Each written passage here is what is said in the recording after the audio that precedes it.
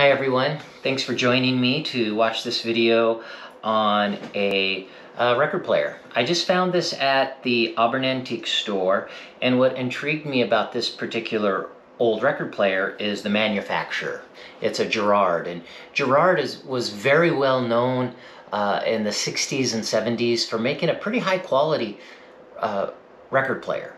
And this particular one is the RC121 I'll give you a close-up view of the tag on it so you can see that and understand what I'm talking about.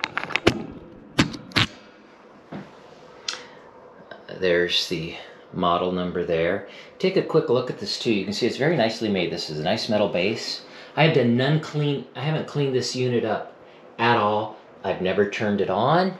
I haven't tried it. I paid $35 for it. If it works, that was a great deal. If it doesn't work, well, that's about what it's worth for parts. So I guess if you sold it as parts, you'd probably break even, but I don't want to sell it for parts. I want to use it. So let's go ahead and give this a try, and we'll see if it works. There we go. All right, one of the things you want to do here is, I recommend anytime you are going to plug in something electrical, you take a look at the bottom and just confirm that the electrical wire right here looks okay. And in this case, it is okay. I'm going to go ahead and use it, but I can see it's been taped here. That ultimately needs to be replaced and you can see how you could take that apart and put a new uh, power cord here, so no big deal. But just looking at the bottom, looks pretty good. It looks complete. Here's the audio output. This has uh, RCA uh, jack on it. And with the RCA jack, I can plug it to any system that has an RCA input. And I'm going to assume this already has the preamplification going on, so I don't have to plug this into a phono input. I can actually plug it into a line input. Um, and I'm going to make that assumption. So let's turn this back over. I haven't cleaned this up at all. I haven't done anything to it. I just brought it home. And it should clean up super nice if I, uh, this should polish up and look nice and white. It's got a nice base. Mm-hmm. Uh, Garrard started making, well, as a business, they came into existence in the very early 20th century, around 1915 or so, based in England. And then starting in the, oh, the 40s, you know, moved into electronics like this. First with the old Victrolas, and then with a with a system like this. This is about 1958, uh, thereabouts. So with that, first thing we're gonna, I'm gonna take this rubber band off of here because that's keeping the needle from flinging around and damaging itself.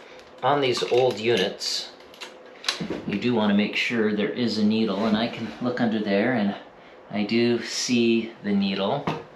Um, also, I've got the wrong screwdriver. I need to make sure the needle is turned the right direction. You should be able to, because they'll have one needle for 78 RPM and another needle for regular LPs, and if you use the wrong one, it can do a lot of damage.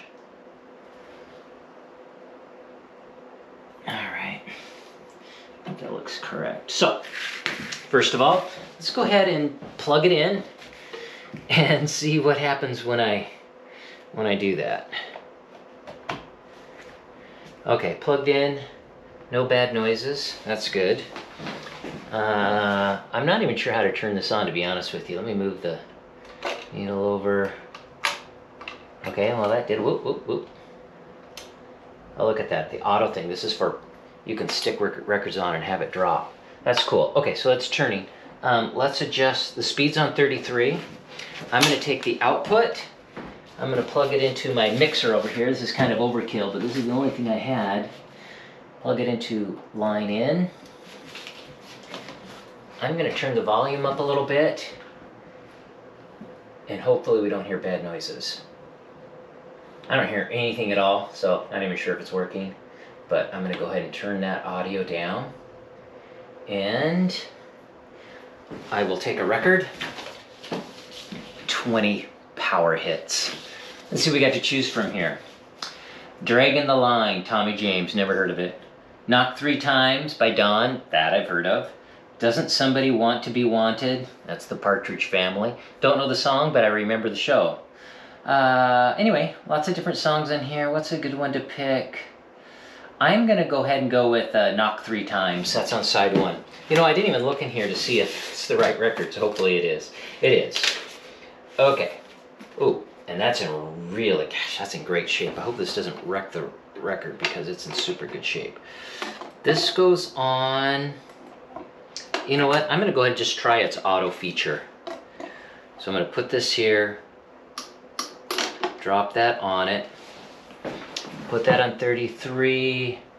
Let's go ahead and see what happens.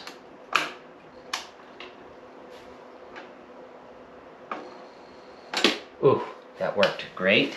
Needle should come over and come down. And it kind of fell off the record. I'm going to scoot it over. Oop. Okay, do you see that slide across? That means our needle is no good. Let's take a look at this needle and see what we have to do here.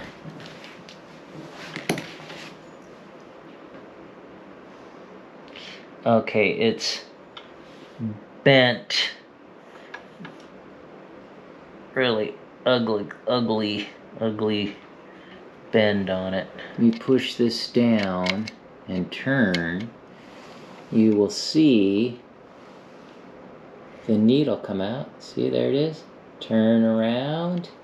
And that changes the needle between 78 RPM needle to a regular 35 or 40, uh, 33 or 45 RPM record. I'm going to flip that around, move to the other needle. And let's see if we have better success now playing the record. Back this up. Plug it back in. I like the auto feature on this. That's pretty cool. Just slide this over and it automatically drops the record down when you turn it on. So let's try it again. Start. Drop the record.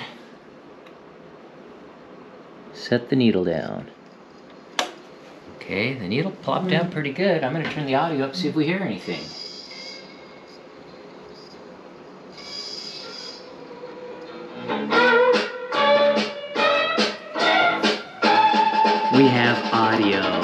Pretty cool. It works great.